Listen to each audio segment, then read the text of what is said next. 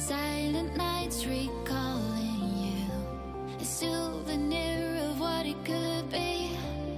Pieces of my mind are yours. I forgot the parts I'm missing. Ora, estamos então de volta com mais um vídeo, espero que estejas bem desse lado. E hoje vamos olhar aqui para a Shelly e como é que a podemos utilizar para transformar um dispositivo que naturalmente não será assim muito inteligente numa coisa mais inteligente, tipo este candeeiro. Coisa que ele não tem inteligência nenhuma, mas passou a ter. E com a aplicação que está um abuso, aliás, já aqui cenas que estão um abuso mesmo. Portanto, desde já um thumbs up para a comunidade que alguns envenenaram. Eu fiz esta encomenda, partilhei no Instagram, se ainda não segues, o link está lá em baixo. Epá, e estou a adorar. Eu digo sinceramente, a experiência de todo o tipo de tomadas e todo o tipo de cenas assim semi-inteligentes que eu testei até agora, esta, eu vou partilhar com vocês desde já, já, já, está a ser das melhores. Portanto, se tu quiseres tornar um termoacumulador, que eu vou partilhar mais algumas coisas no futuro, mais inteligente, ou um candeeiro, ou até, imagina que tens uma televisão que irradia uma luz tão bruta, mas tão bruta que por qualquer motivo não te deixa dormir e só te apetece jogar num sapato, não jogas o sapato, não empregado de sapato, utilizas esta ceninha que dá aqui e resolves o problema da tua vida. Uh, portanto, o link vai estar lá em baixo e o que é que vai estar lá em baixo também? O link para a forprint.pt que é o patrocinador deste vídeo, onde vais encontrar tinteiros e tonas a preços espetaculares com uma qualidade muito boa e claro, suporta forprint.pt que em 24, 48 horas entrega tinteiros e tonas em nossas casas sem a gente se chatear.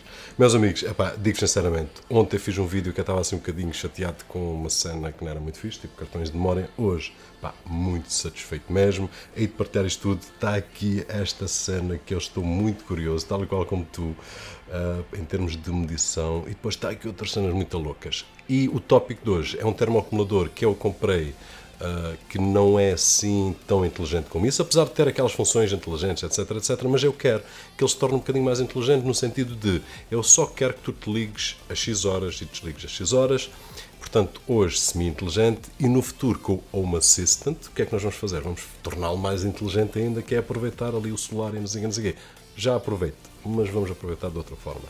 E a aplicação é das mais loucas que eu utilizei até, até o momento. Já agora, hoje vamos, vai ser old fashion, estás a ver aí no ecrã, vai ser mesmo old fashion porque eu não me apetece estar a gravar o telemóvel. Vamos gravar aqui com este ângulo, vou conseguir uh, mostrar-te a tomada e também aqui a aplicação ao vivo.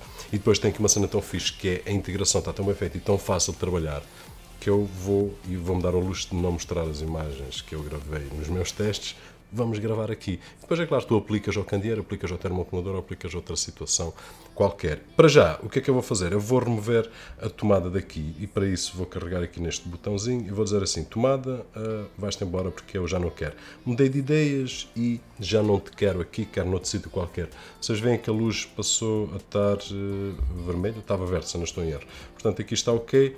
O sensor de temperatura fica para outro dia, ele já está a funcionar há uns dias, mas vocês já sabem que eu testo e testo e depois logo partilho. Ah, tem que uma cena da louca, meu, que é eu consigo medir o consumo. Isto foi um bónus para mim, porque eu quando encomendei ah, ainda fiquei nessa dúvida, mas não ouvi lá nas especificações. Ele consegue me dar o consumo instantâneo e o consumo histórico da tomada. Epá, isso é muito fixe para dispositivos que consomem alguma eletricidade, como é o caso do termoacumulador. Portanto, este é mais um bónus muito louco.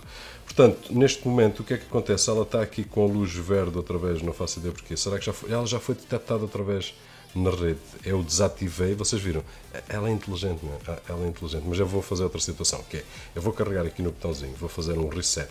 E eu não vi o manual muito bem, mas já fiz isto duas ou três vezes, porque andei com ela para cima e para baixo, e ela acende e apaga aqui o, o vermelho e depois fica azul.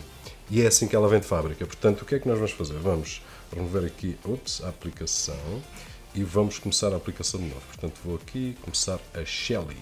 E eu tenho aqui duas zonas criadas. No futuro a gente logo vê melhor a aplicação no geral. Para já interessa o quê? Interessa que vem assim de fábrica. Eu quero adicionar um dispositivo, carrego aqui. A minha rede é esta, para já, que eu quero utilizar e que quero que ela se ligue. Vou carregar em sim. E depois uh, vou escolher qual é o dispositivo. Vocês veem que eles têm aqui uma série deles. Eu encomendei alguns. Uh, este é o Shelly Plug, vamos carregar. E ele agora automaticamente diz assim: Olha, já encontrei não sei o quê, é isto? E eu digo sim. E então agora o telefone vai se ligar à tomada e vocês conseguem ver aqui que ele para já já desligou uh, e aqui acendeu um vermelho e a dizer sucesso porque já encontramos não sei quê na tua tarará, tarará, tarará. Vocês conseguem ler, não precisa estar aqui a contar a história toda.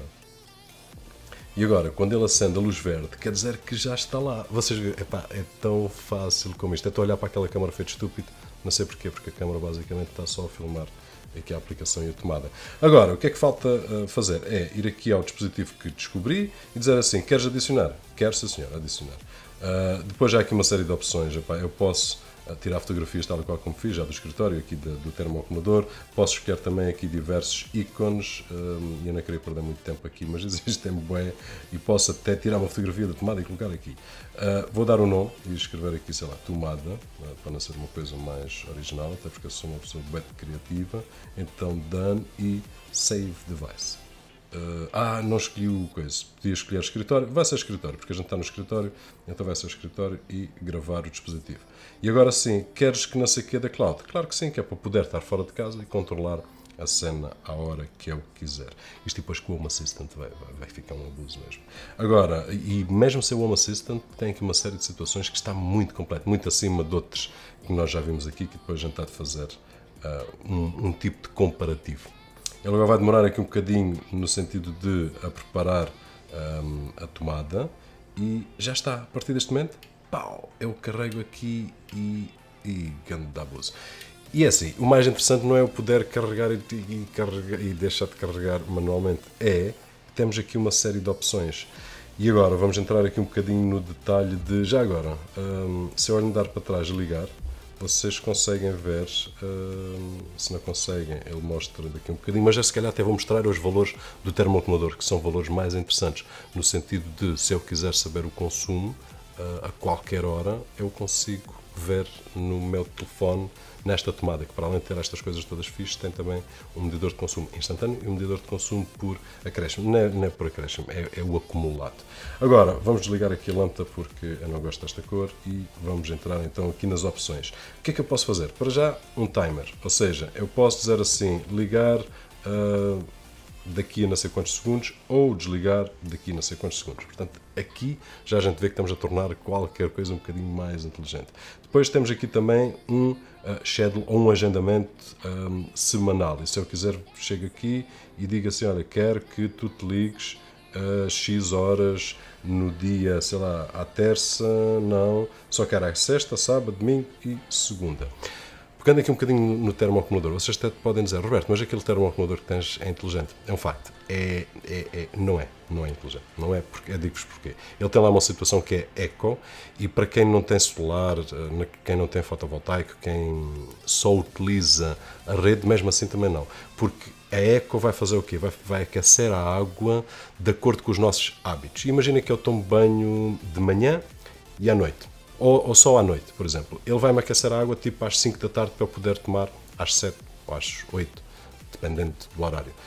Mas imaginem que eu quero aquecer a água em horário biorário. Mesmo aqueles que não têm um sistema fotovoltaico, se tiverem biorário, durante a noite podem aquecer a água. Então eu, se calhar, prefiro aquecer das 5 da manhã às 7 da manhã, sendo certo que a água vai ficar quente até eu chegar a casa tipo 6, 7 da tarde e tomar banho. Portanto, existe aqui uma série de situações que o termoacumulador por si só não consegue chegar lá.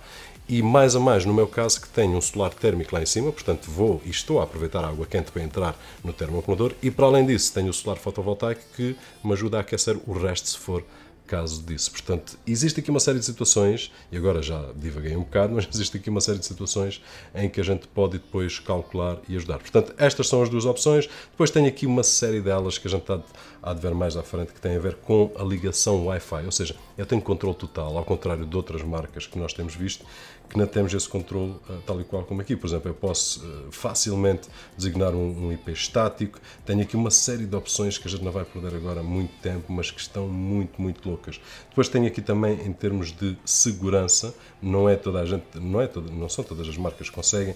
Eu aqui consigo alterar o valor eh, que eu quero, por exemplo, para elas desligar. Imagina que eu quero só até 2000 watts e depois a partir daí desligar. E nem digo só segurança, sei lá, uma, uma questão de consumo até, uh, não quero que aquele dispositivo ultrapasse X valor. E posso uh, colocar essa situação assim. Agora, atenção que não é um regulador de voltagem, é diferente. Uh, depois, tenho aqui mais aplicação, uh, ou seja, em termos de load, em termos, se é luz, se é uma resistência.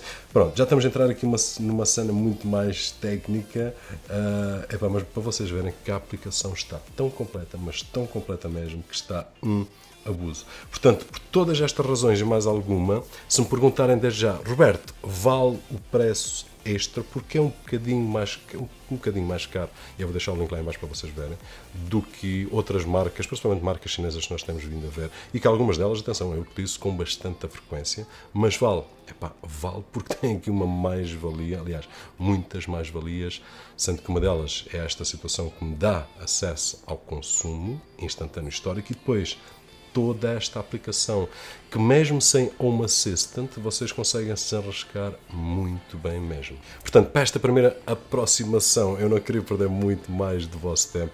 Epá, estou muito contente mesmo, muito feliz com esta escolha. Está um espetáculo, do melhor que eu já utilizei até hoje e para mal do meu bolso não será a última que eu vou encomendar de certeza absoluta porque está muito fixe mesmo. E este aqui vamos ver, mas eh, estamos no bom caminho. E, e meus amigos, basicamente para hoje vai ser isto. Este eu acho que já disse que é um, um sensor de temperatura, está muito louco também mas fica para. Aliás, se calhar ainda vou gravar hoje à noite, se conseguir, ou daqui a bocadinho. Uh, e para além disso, é só. Espero que vocês tenham gostado deste vídeo, espero que seja útil tem aquele selo de approval, Roberto Jorge, à vontade mesmo, aqui à vontadinha, porque vale bem a pena. E, e um thumbs up para todos aqueles que têm acompanhado o canal e que têm dado um, estas, estas dicas também, porque vieram daí desse lado. E vamos fechar por aqui. Se foi útil, não esqueças de deixar aquele muito, mas muito agradecido thumbs up. O meu nome é Roberto Jorge e, como sempre, a gente vê-se no próximo.